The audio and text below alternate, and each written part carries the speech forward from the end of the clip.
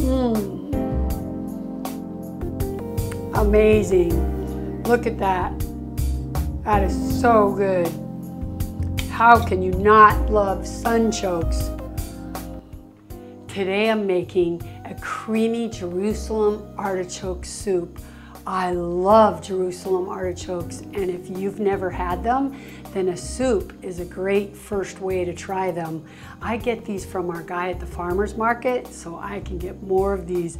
I wish we grew them here. It's not difficult because a Jerusalem artichoke is in the sunflower family and so it grows into a big bushy like shrub with little sunflowers at the top.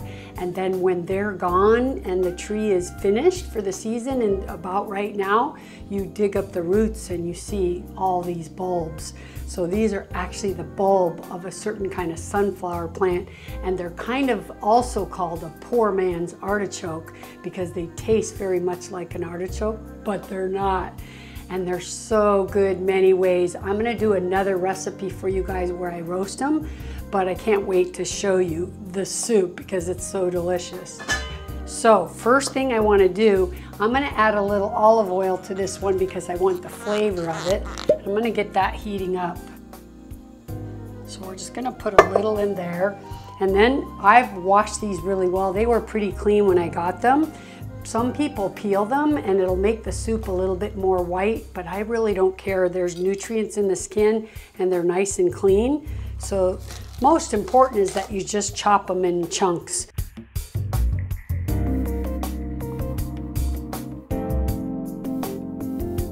You can see that a Jerusalem artichoke is much more like a potato. It's very white and it's got the skin and the taste is like a little bit between an artichoke and a potato.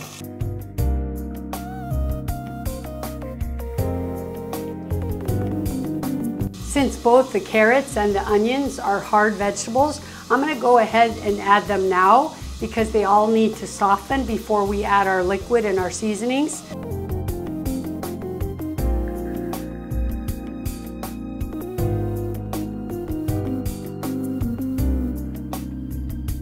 Actually, I used a shallot, not an onion, a great big shallot from the farmer's market. It was this big and I used the whole thing. And we're gonna be making this soup creamy, so I'm using soy milk, but use whatever milk you have. And I'm gonna add some cashews to it because I wanna make it extra creamy. And then I've got some garden herbs, some thyme, oregano, some chives, and some bay leaves. As a matter of fact, we're gonna put those bay leaves in there right now. This is a great recipe to use really fresh ingredients because it's like it came right off the farm and out of your garden. So I'm gonna add some dried herbs, some thyme, and some celery salt. And then at the end, I'm gonna put some lemon zest in there and mix it with some of my fresh herbs at the very end. But just salt, pepper, celery salt, and a bit of thyme. I always like the addition of fresh herbs if you got them. I think it's a good time to add some seasoning. So let's first put some salt,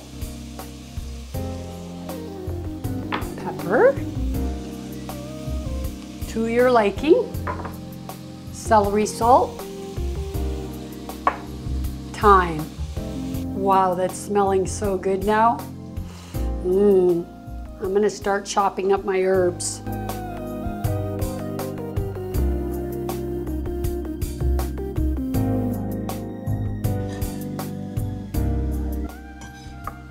Let's stir them around. At this point, one way to test it is just to stick your knife in one of the sunchokes. So as you can see, see it's very much like a potato and it's quite soft.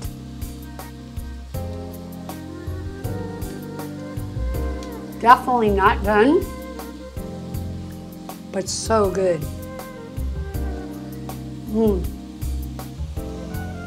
Let's try a carrot. See, you can hear it still has a little crunch. Getting there. They don't need to cook all the way through in this stage. They're gonna finish cooking when they're boiling in the soup. But it's just good to give them a head start and get them nice and soft and they're almost there. Okay, I'm gonna add our cashews. I've soaked these. You can soak them overnight or you can just soak them in boiling water if you don't have enough time to do it overnight. And let's add our soy milk.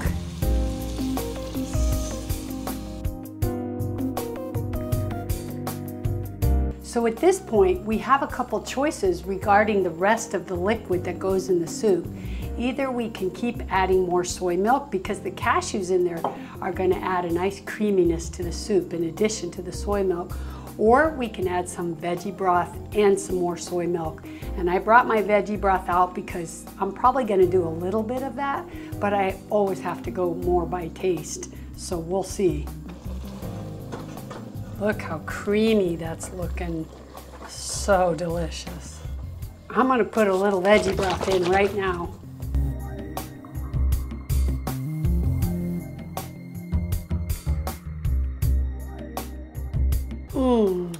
That's getting really good. Now it has that buttery, creamy, rich because of the cashews and that olive oil that's been in there and the creamy soy milk. It's really good.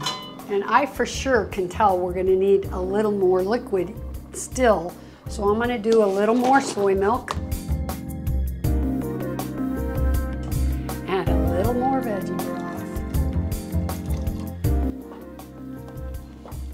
That's looking about the right consistency.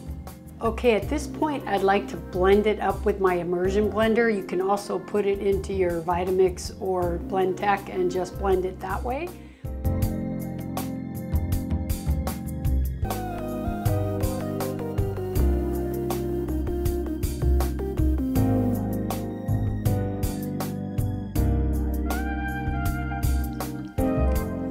Mm. That's good.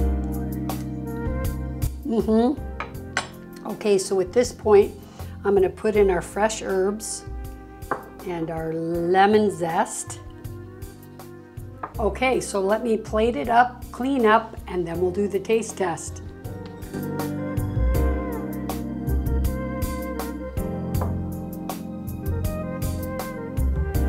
And I garnished it with a little bit of lemon zest and my herbs and I can't wait to eat this whole bowl.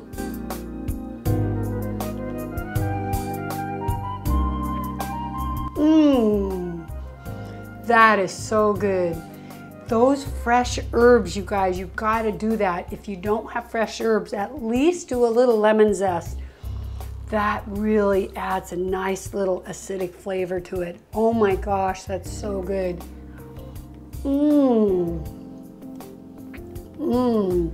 One of the reasons I love to use my immersion blender rather than say my blender, I do both.